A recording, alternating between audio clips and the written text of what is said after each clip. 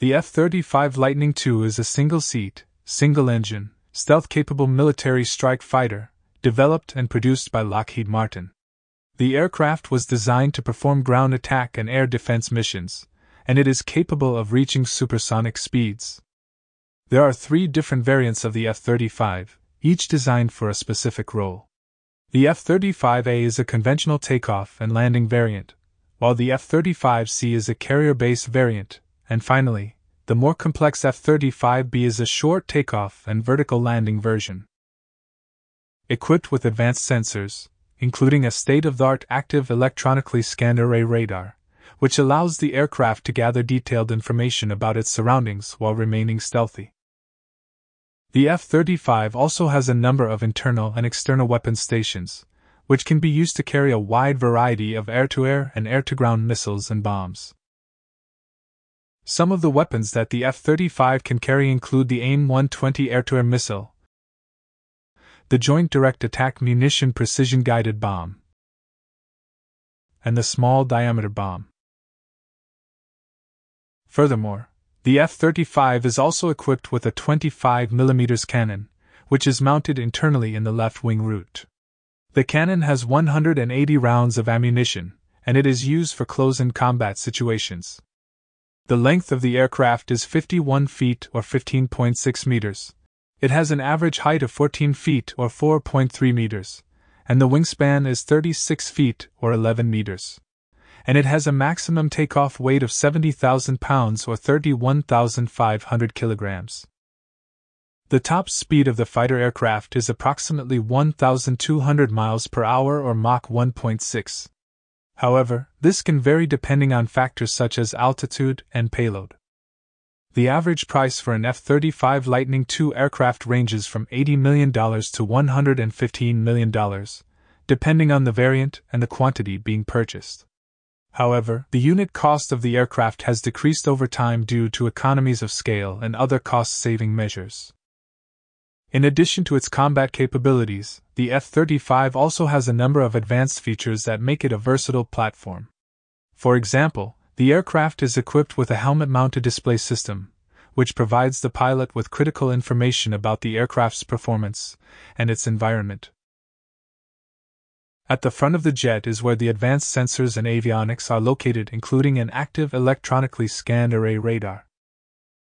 It also has an advanced data link system, which allows it to share information with other aircraft and ground based units in real time. It is powered by a single Pratt & Whitney F135 turbofan engine, which provides the aircraft with advanced capabilities, including supersonic flight and short takeoff and landing capabilities. The engine is also equipped with a state of the art full authority digital engine control system, which allows the engine to be controlled and monitored electronically. This provides the pilot with greater control over the engine, as well as enhanced safety and performance. The F 135 engine is a low bypass afterburning turbofan engine that incorporates several advanced technologies, such as a three stage fan, a six stage high pressure compressor, and an annular combustor. The engine's afterburner, which can be engaged during high speed flight, provides additional thrust, allowing the aircraft to reach supersonic speeds. The engine's three stage fan and six stage high pressure compressor are designed to compress and move large volumes of air which is then mixed with fuel in the annular combustor before being burned to generate power. The engine's afterburner, which can be engaged during high speed flight, provides an additional boost of thrust, allowing the aircraft to reach supersonic speeds. The short takeoff and vertical landing variants of the F 135 engine are equipped with a thrust vectoring nozzle, which allows the engine's exhaust to be directed in different directions. This allows the F 35 aircraft to perform vertical takeoffs and landings, as well as hover and maneuver in a stationary position. The F 135 engine is a gas turbine engine that powers the Lockheed Martin F 35 Lightning II fighter aircraft. It works by drawing in the air using a fan at the front of the engine, compressing it using a series of compressor blades, mixing it with fuel, and igniting it to produce a hot, high pressure gas. The gas then flows through a turbine, which spins a shaft connected to the fan at the front of the engine. In addition, this variant of the engine is equipped with a lift fan system, which consists of a small fan located behind the cockpit that provides an additional lift for vertical takeoff and landing. The lift fan is powered by a separate shaft from the main engine, and is engaged and controlled by the pilot as needed. The lift fan is a key component of the F 35 Lightning II's propulsion system. It is a vertical fan located in the center of the aircraft. This allows it to take off and land vertically, like a helicopter, and also enables it to hover in midair. Together, the lift fan and the main engines give the F 35 exceptional agility and maneuverability, allowing it to operate from a wide range of surfaces and in a variety of environments. The aircraft has a pair of roll nozzles, which are located on the sides of the aircraft near the tail. These nozzles can be moved in different directions to provide additional thrust and help the aircraft maneuver in the air.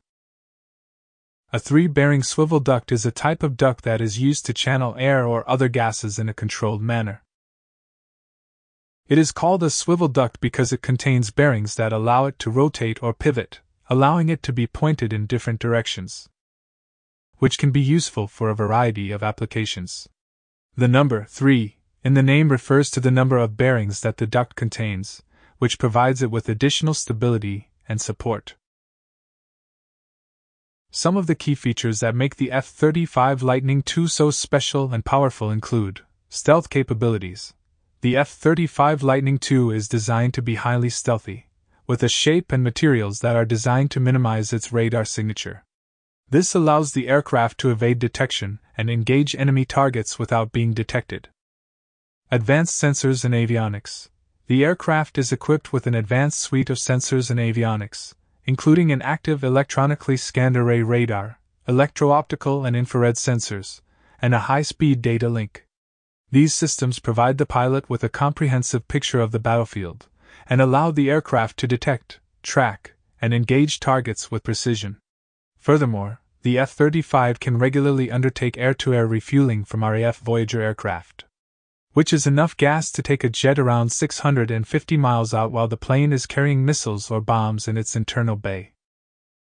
Versatility It is designed to be a multi role aircraft, capable of performing a wide range of missions, including air to air combat, air to ground strike, and air defense.